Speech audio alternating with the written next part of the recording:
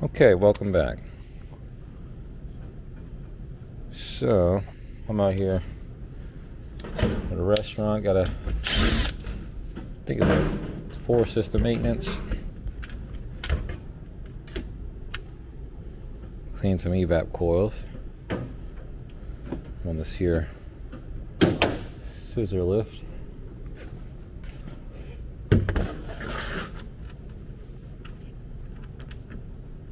As we can see. But yeah, like I say, it beats working off of an extension ladder any day of the week. So a little wobbly and unstable, but can't complain about it. So what I'm gonna go ahead and do now. I've got my coil cleaning kit going on here.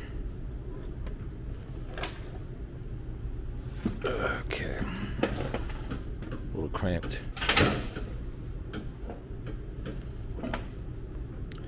So I'm going to go ahead and do, I could have used just the regular AC power. I just got my Milwaukee top off here.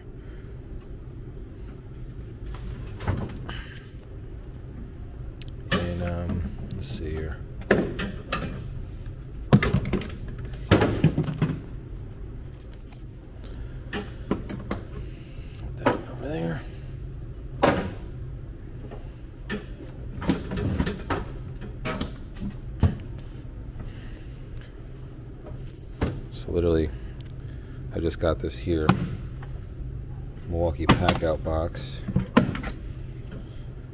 Filled it full of hot water there.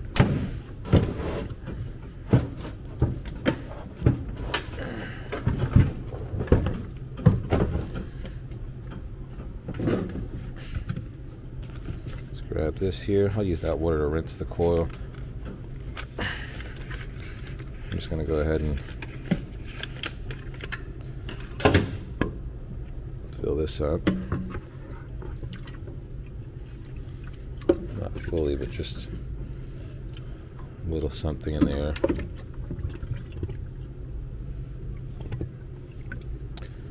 Okay.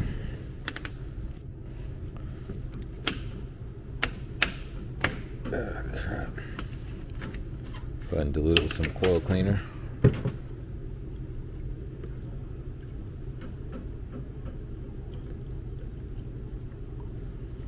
once you dilute it, you know, to this degree, it's it's it's not going to be very harsh on the coils. It should be decent. Um,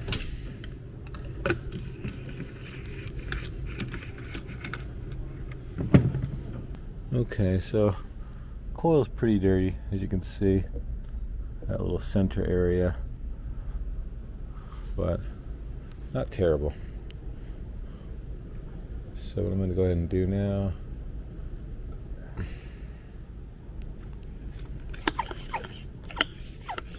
pump this thing up.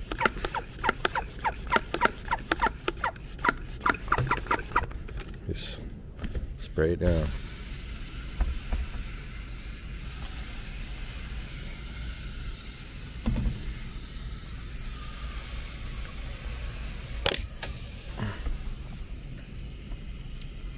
Okay.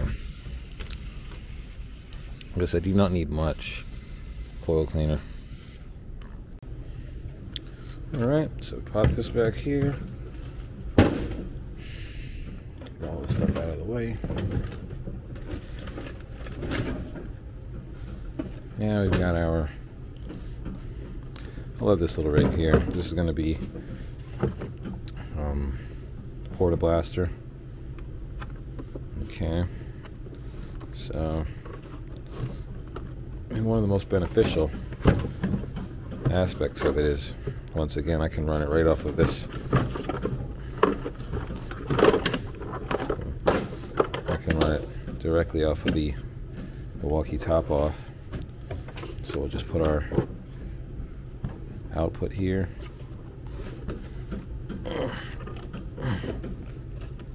There we go. Input here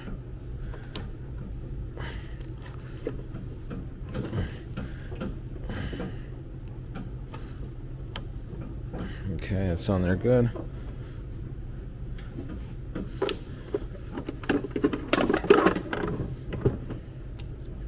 We got this here.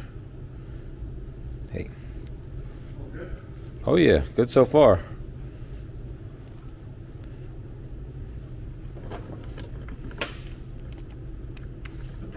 Perfect. And now what I'm gonna do It's pretty shaky.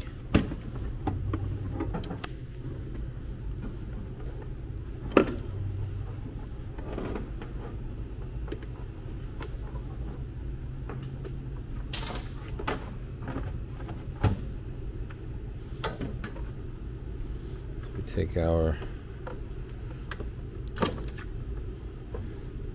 input line, throw it in the water. It's non-chemicalized water.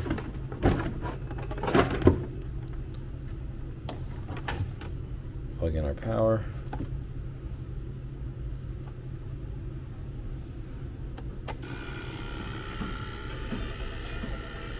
Ready to rock.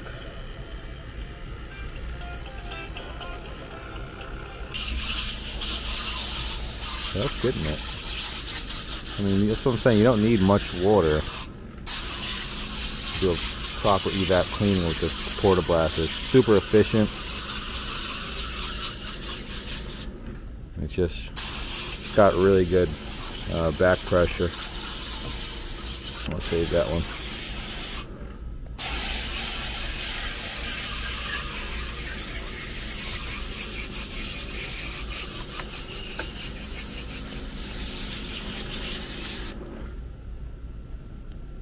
Focus keep failing.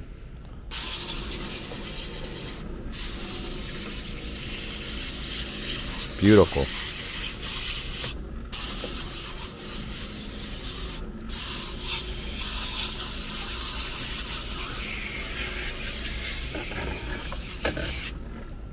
Yeah, we still got plenty of water down in there, as you can see.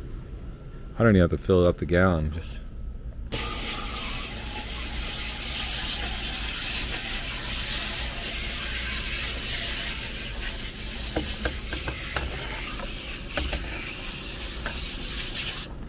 Let's get this last little bit here. Oh yeah, it's getting off of there.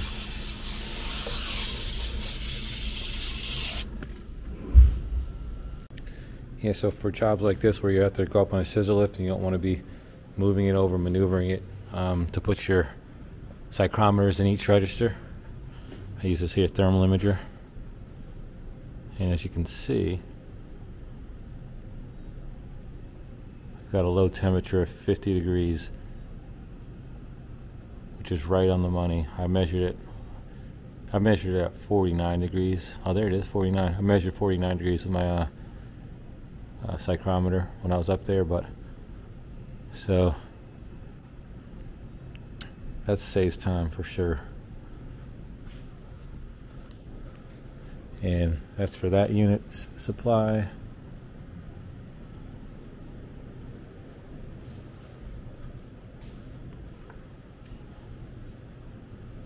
Let's see here, what do we have here? Looking at those supplies there. Low temperature of 50. Perfect. And I'm just going to measure that against our thermostat.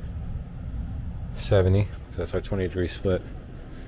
Like I said, this thing, um, this guide sense imager boasts like a 100 to 1 ratio uh, as far as distance to spot, so it's pretty legit.